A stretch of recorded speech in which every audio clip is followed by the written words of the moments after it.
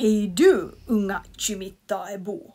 Visste du att nästa år firas Kimitoöns 700-årsdag?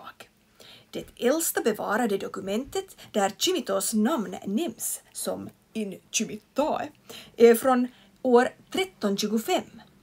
Alltså nästa år har det gått 700 år sedan dess. Naturligtvis har människor bott och arbetat här också redan långt innan dess. Chimitos historia är lång och fascinerande. År 2025 firar vi livet på Chimitoön med dess glädje och sorg, äventyr och hemligheter från över 700 år. Och just ni, alla barn och ungdomar i Chimitea, är inbjudna till Fanfar 700-jubileet. Så hör på det här.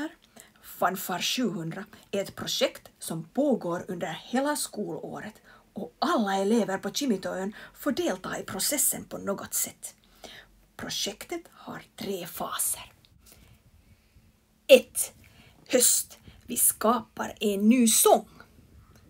2. Vinter och vår. Vi övar och förbereder. 3. Maj. Fanfar 700 konsert. Idén bakom projektet Fanfar 700 är att alla får delta. Vissa sjunger i jättekören och vissa skapar bilder och visuellt material till dessa fanfarer och sånger i bildkonstverkstäder. Alla får också ge idéer till det nya musikstycket. Dessutom har ett litet gäng från varje lågstadieskola möjlighet att samarbeta med låtskrivaren i en låtskrivarworkshop. Till slut får alla uppleva den stora fanfar 700 körspektakeln! Men nu ska jag berätta mer om det första steget. Vår första uppgift är att tillsammans skapa en helt ny låt om Kimitoön. Men vad är Kimitoön? Denna vidsträckta skärgårdskommun som sträcker sig från Bengtskärs fyr till Strömmabron har en lång och fascinerande historia.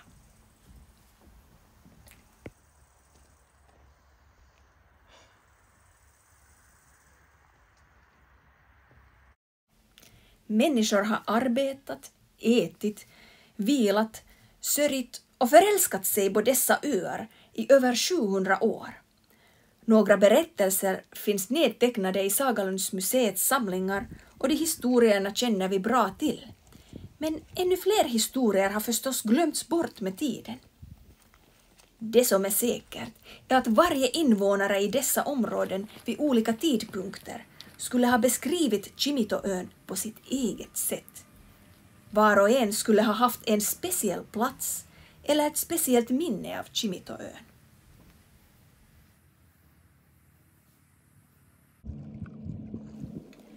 Var vilade sig den vikingatida köpmannen från Kyrkosund i Hitis?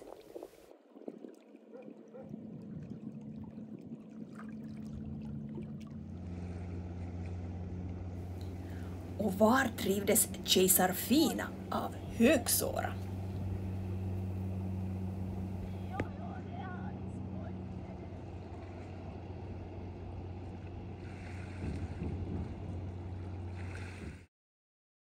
Eller var spökade den svarta damen från Dalsbruk?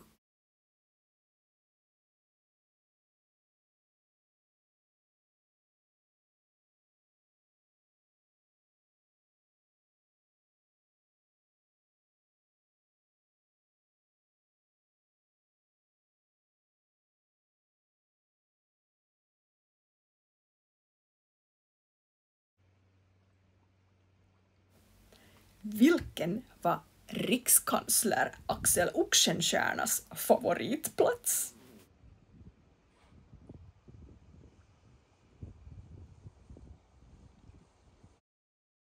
Och nu är det din tur.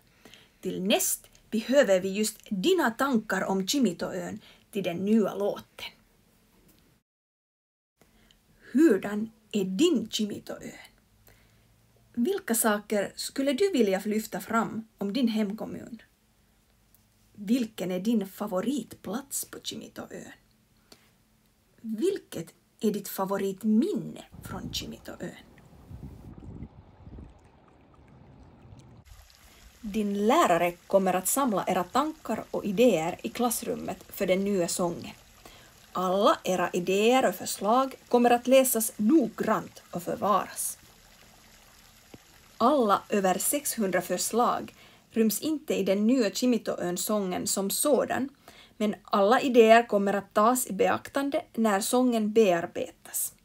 Dina idéer kan också bli en del av den visuella helheten för den stora körkonserten. Här börjar fanfar-äventyret!